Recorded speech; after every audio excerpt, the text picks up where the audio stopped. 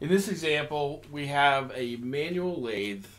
This, drawing here represents the face view or the, the front on view of the chuck in the manual lathe. So the workpiece is coming out here towards you. There's a rotation, so there's RPM that's spinning this chuck clockwise. Now, the operator has forgotten to remove the chuck key from the lathe. And so the chuck key is just held in there, well, in this orientation with gravity.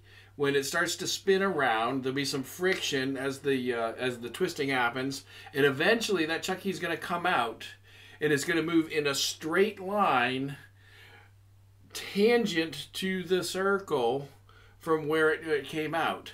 And so uh, and so the question is, how much energy is in the chuck key when it strikes you in the forehead.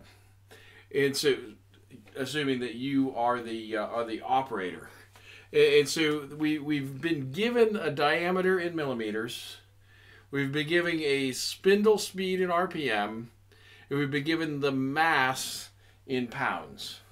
And so what we need to do is figure out how can we turn this information into kinetic energy.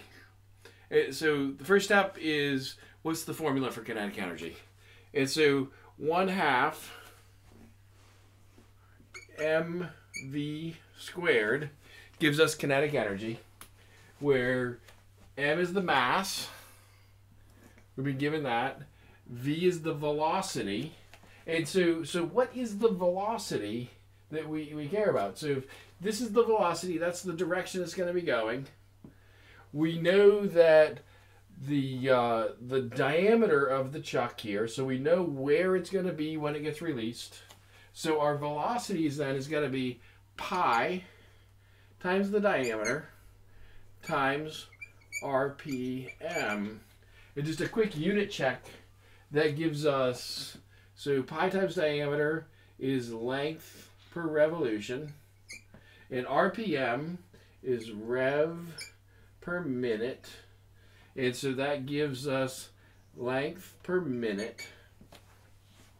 And, and so this should give us our velocity. Square that, multiply by the mass, multiply by one half. That gives us kinetic energy. Except in what units? Now the question asks us to represent this in units of joules. And so what's a joule? A joule is a kilogram meters squared per second squared. And so to get to joules from here, we're going to have to go from minutes to seconds. So we'll have to convert there. And we also, we have pounds here for mass.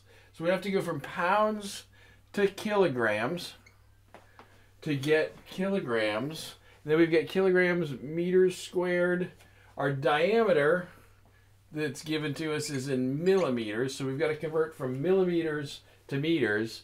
And if we do all those unit conversions, we apply this equation, we can find out the energy in the chuck key when it strikes us in the head. Now, now if this had been a multiple choice question, one of the choices should have been enough. But since it's not a multiple choice question, we want a numerical answer.